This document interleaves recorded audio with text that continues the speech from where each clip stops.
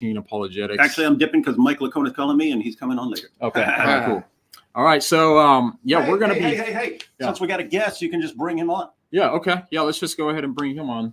Start, and here Someone you may have heard of. I don't know. I don't Maybe know if heard of. this. this is Paul Copan. Copan. Copan. Is it Copan. Copan or Copan? It's I always wondered. Copan. Uh, I always let's said get it straight for the record here. Okay. Copan. Accent on the first Copan. syllable. Okay. So this is Paul Copan, um, and he's actually written a book that a lot of people are always talking about. The book is God a Moral Monster, where he talks about a lot of the stuff in the Old Testament and then how to kind of square it away with God's character.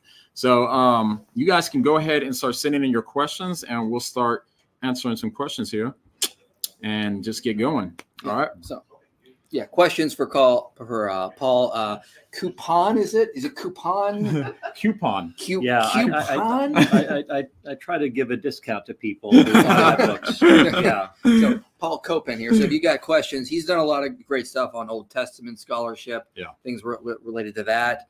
Uh, wonderful to have you on here. I actually have a quick question for you. um, Yeah. if you have it. So, uh, so uh, when one of the things I always get people asking me is in the Old Testament. It's about, oh, why is God commanding genocide? Right. Why is he telling people to wipe the Israelites to wipe out entire populations? And I don't know if you've written on that. You may have written maybe several books on it or, or not. I don't know. What is your what is a quick way that you sort of deal with that? Yeah, answer that, Paul. Okay, thanks, Dave. I appreciate I appreciate that, David. Um, yeah, I, I've done further work on this in my book "Is God a Vindictive Bully," and I've got other stuff coming out too. But uh, that builds on the Moral Monster book, and I try to go into a lot of detail on one, a lot of the ancient Near Eastern background, which talks about hyperbole. It's like ancient Near Eastern trash talk. Like we in sports, we talk about, know, we totally annihilated those guys. We all, you know, wiped them all out. And that's how people wrote in the ancient Near East. Yeah, we totally wiped them out. We left no survivor. Even the term, you know, we left alive nothing that breathes, uh, you know, or, or we utterly destroyed them. You know, you, you read this in Deuteronomy chapter seven, for example, where it says, you know, drive them out, utterly destroy them, and so forth. And then it goes on to say, do not intermarry with the Canaanites. You know, don't make covenants with them. Well, if you've already wiped them out, what are you doing making covenants with them? Uh, you also see places where it says we totally destroyed them. We left no survivor in the book of Joshua. A chapter or two later, there they are, those same people that were allegedly utterly destroyed. So, you know, God is concerned about primarily driving people out. Uh, that you know, and even when it says you know the term utterly destroyed is being used, uh, you know, the people are still there, like uh, the the Amalekites. Saul, it says in First Samuel 15, he quote utterly destroyed them.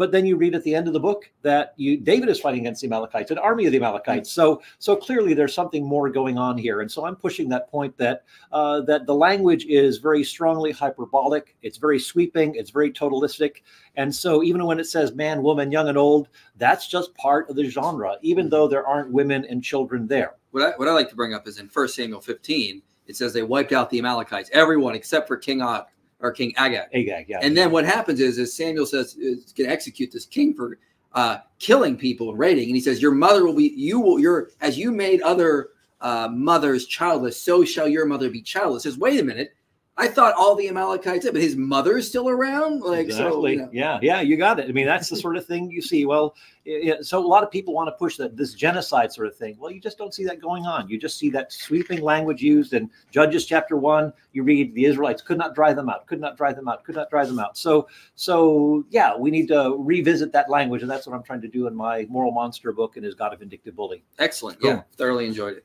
And speaking of, um, somebody commented and said, says, thank you, Paul, for your books. Says God a Moral Monster was a big help um, to answer the hard questions. And I enjoyed Is God a Vindictive Bully? So good for that. Um, there's also a comment um, where he says, dang, man, Paul Copan was one of my professors, John Adams, Okay. which is awesome too. The John